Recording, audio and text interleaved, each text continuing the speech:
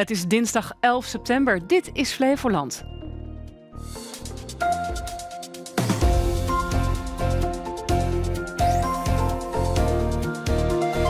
Metropoolgarage dicht vanwege scheuren. Een bietencampagne weer van start. En 180 kilometer op de pony voor het goede doel.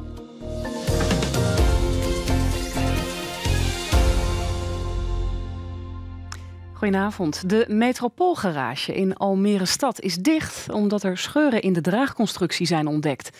Deze constructie draagt de parkeervloeren en daar wil de gemeente geen risico mee lopen. Daarom besloot de gemeente om de garage direct te ontruimen en af te sluiten. We hebben er uh, vervolgens een aannemersbedrijf bij gehaald om de garage te stutten. Uh, zodat we straks mensen de gelegenheid kunnen geven om hun auto weg te halen en om zelf te gaan onderzoeken. Hij is inmiddels gestut. We willen nog wel zeker weten dat het ook echt veilig is om de garage in te gaan. Dat zijn we nu aan het onderzoeken. En wat is de oorzaak van die scheur? Is dat al duidelijk? Nee, dat is niet duidelijk. Dat is precies de reden waarom we hem eerst veilig maken en dan gaan onderzoeken wat er precies aan de hand is. Op Twitter gaat een foto uit 2015 rond die suggereert dat een van de scheuren toen al bestond. Nou, wij hebben uh, de systemen uh, er nog eens even op nageslagen. Wij hebben zo'n melding uh, niet aangetroffen. Dat wil niet zeggen dat die niet gedaan is. Alleen wij vinden hem op dit moment niet terug. We denken dat de scheuren eigenlijk vrij recent zijn. Ruim een jaar geleden stortte een parkeergarage bij luchthaven Eindhoven deels in door fouten in de constructie. Maar de wethouder is niet bang dat dit in Almere ook zal gebeuren. Er is hier gebruik gemaakt van een andere bouwconstructie. Dus wat er in Eindhoven is gebeurd, dat zal hier niet gebeuren. Maar dat is ook alles wat je erover kunt zeggen. En daarom gaan wij uitzoeken wat er precies aan de hand is met de garage. Dat de garage dicht is, was niet bij alle automobilisten bekend. Die moesten bij aankomst dan ook rechtsomkeerd maken. Nee, geen idee. We komen hier ook niet vandaan. We wonen naar de Primarkt, maar uh, dan zien we dat hij dicht zit. Ja, maar pech. Kan niet. Je kunt niet voorzichtig genoeg zijn. Ja. Dus de gemeente doet er goed aan om dat zo aan te pakken. Ja. Betekent wel dat u even iets verderop uh, moet parkeren dit ja, keer? we moeten even verder zoeken. Ik denk dat de, de, de volgende wel uh, te vertrouwen is. Uh, tenminste, die is nog open. En dan, ja, dan gaan we daar proberen. Ja, en de gedupeerde automobilisten die hun wagen dus in de metropoolgarage hebben staan... die mogen hem vanavond onder begeleiding ophalen. De politie heeft in Almere Buiten een man van 21 aangehouden. Die wordt verdacht van fraude en witwassen. De man reed in een dure Mercedes en pronkte daarmee op social media. Ook showde hij daar andere dure spullen. Dat, gecombineerd met zijn jonge leeftijd, viel de politie op en dus startte agenten een onderzoek naar onverklaarbaar vermogen. Resultaat daarvan is de aanhouding en het in beslag nemen van de auto. Het is weer de periode van het jaar waarin suikerbieten worden geoogst. En dus is vandaag de bietencampagne begonnen. Automobilisten wordt gewezen op de grote hoeveelheid landbouwvoertuigen op de weg, de kans op modder op het asfalt en slechte bermen. Door de droogte valt de Nederlandse suikerbieteoogst dit jaar tegen. Normaal gesproken leidt schaarste tot een hogere prijs, maar de lage prijzen op de wereldmarkt gooien roet in het eten. Zeker 60 ondernemers hebben interesse getoond voor een kerstmarkt bij Batavia Haven in Lelystad. Dat zegt initiatiefneemster Yvonne Winter, die jaarlijks in juli op dezelfde locatie de Hippiemarkt organiseert. Tot nu toe vond er rond kerst een markt plaats bij het natuurpark, maar dat evenement is gestopt. Winter ziet daarom kans voor een evenement aan de andere kant van de stad. Of het er ook daadwerkelijk van gaat komen, zal de komende maanden duidelijk moeten worden. Marathonschaatser Juri Lissenberg is nu alweer heel wat jaren gestopt en nu is hij fulltime timmerman. En als ze dan ons gaan googlen, dan vinden mensen het wel leuk. Ja, twee van die schaatsers Maar zingen. ik weet niet of dat indruk maakt. Geen idee. Of het, je, of het je helpt. Ik denk dat ze daardoor wel weten dat je doorwerkt. Zometeen een portret eh, van Juri Lissenberg. Kunstenaar Daan Rozengaarde die komt opnieuw met een groot lichtspektakel naar Flevoland. Drie jaar na zijn show bij Schokland is volgende maand Almere aan de beurt. Op Schokland was het thema water, deze keer het heelal. Op dit moment zweven er meer dan 29.000 stukjes uh, ruimteafval boven ons hoofd, groter dan 10 centimeter. Dat zijn stukjes van satellieten en raketten een beetje afgebrokkeld. En um, dat is eigenlijk een soort, soort fijnstof, een soort smok van het universum. En dan vraag je je af, ja, wat maakt het nou uit? Hè? Want het zit heel hoog boven ons hoofd. Als een heel klein stukje daarvan um, een bestaande satelliet raakt, vanwege de snelheid, houdt die satelliet op, gaat die kapot.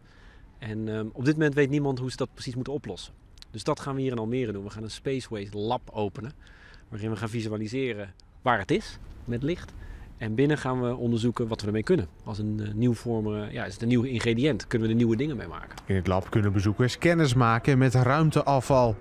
Om te laten zien waar het ruimteafval is, heeft de kunstenaar sterke lampen neergezet die precies het afval aanwijzen.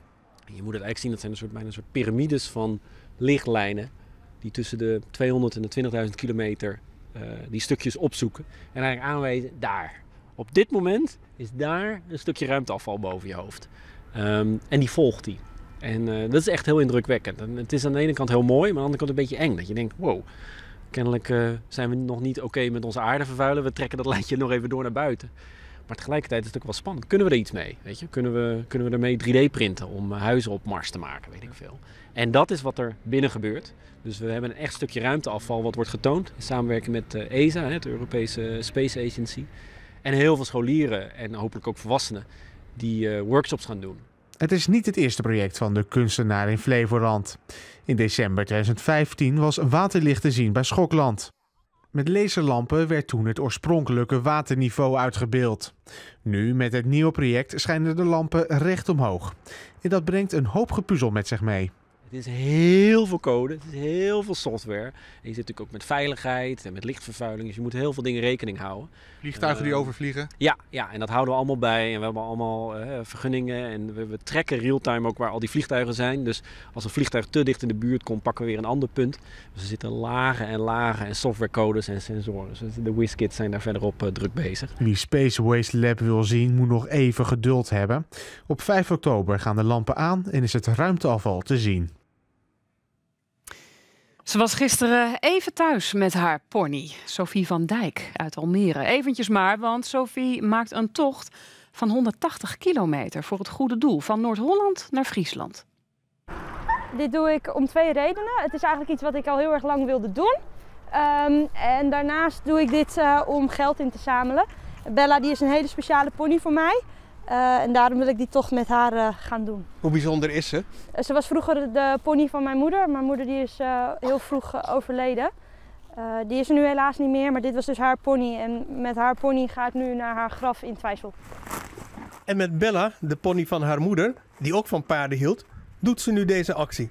Met het geld dat Sophie inzamelt, hoopt ze paarden te redden waar iets mee aan de hand is. Eerder dit jaar kwam ze al in actie. Ja, ik heb twee paarden opgehaald uit België.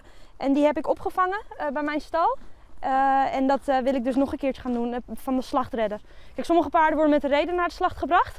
Maar er zijn ook paarden die naar de slacht gebracht worden terwijl ze nog een goed leven tegemoet kunnen gaan. En die wil ik ervoor zorgen dat ze hun goede leven nog af kunnen maken. Wat voor reacties krijgen ze onderweg? Ik heb hele leuke reacties vandaag, vandaag gehad. er zijn heel veel mensen die hebben een stukje meegefietst op het spoorbaanpad. Dat was hartstikke leuk. Ik heb heel veel chocolaatjes gekregen. En uh, Bella heeft heel veel appeltjes en uh, worteltjes gehad. Ik ga morgen vanaf Almere buiten gaan we naar, uh, via Lelystad naar Zwifterband. En dan blijven we daar slapen. En vanaf Zwifterband gaan we de dag daarna weer door naar Krachtenberg. Krachtenburg. Krachtenburg, inderdaad. Vroeger kwam hij zelf wel eens de man met de hamer tegen op het ijs. Maar tegenwoordig is hij zelf de man met de hamer. Almeerder Juri Lissenberg, ooit marathonschaatser en nu fulltime timmerman.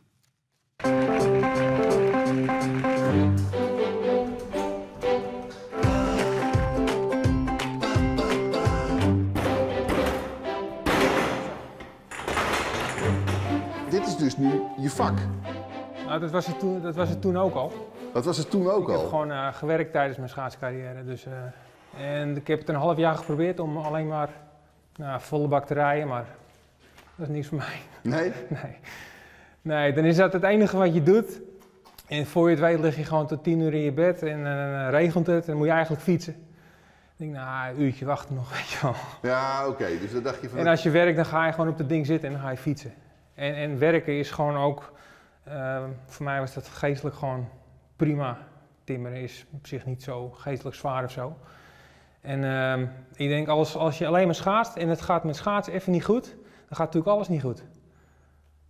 Ja. En nu ging het op het werk gewoon prima, of andersom weet je wel, dat was ook wel eens andersom. Dan ging het op het werk niet zo best en dan was, ging schaatsen ook goed. En nu gewoon meerdere dingen doen. Ik denk dat het heel gezond is.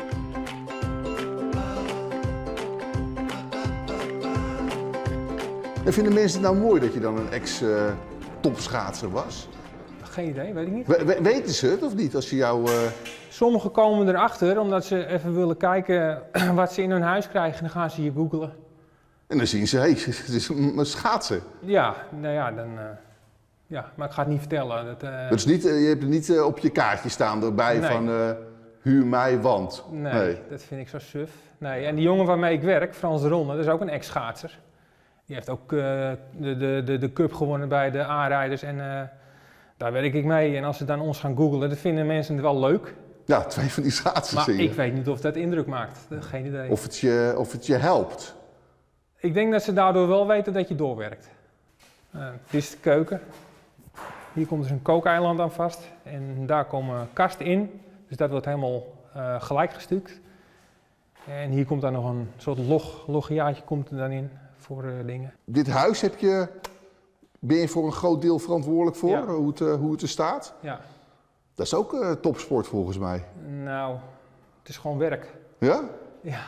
Ja, maar wel een lange rit, zeg Ja, maar. ja, ja, maar ik, ik, ik kijk ook wel eens televisie, niet zoveel meer hoor, maar ik kijk wel eens televisie en dan wordt er altijd dingen met topsport vergeleken. En er wordt heel vaak gezegd door mensen die nog nooit aan topsport hebben gedaan. Dus daar heb ik wel eens moeite mee. Ik Ja, vind je dat, eh, irritant ik- ook, Ja, of? ik vind dit geen topsport. Dit is gewoon werk. Je moet komt niet in de buurt ook. Nee. Nee? Nee, ik heb wel eens eh 200 kilometer gehad. Dat het enige wat ik nog kon was huilen bij de finish. Nou, dat is met mijn werk nooit gehad hoor.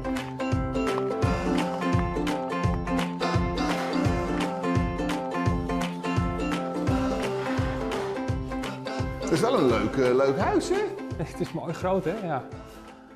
Ja, het is door een andere schaatser eh, getekend en ontworpen. Die is architect. Ties- Echt waar? Ja, Ja? Ties Wielinga, ja. En eh, de ruwbouw is gebouwd door ook een schaatsmaat van me. Dus, Allemaal schaatsers? Oude, oude ploegmaat van me, ja. Jurgen Gorter. Wat goed, zeg. Ja. Juri Lissenberg uit Almere. En dit was Flevoland voor vandaag. Zit je op Facebook of Instagram, dan kan je het belangrijkste Flevolandse nieuws ook gewoon in je tijdlijn krijgen. Like ons dan op Facebook of bekijk de Omroep Flevoland Stories op Instagram. Hier op tv straks het weer met Robert de Vries. Een fijne avond, heel graag tot morgen.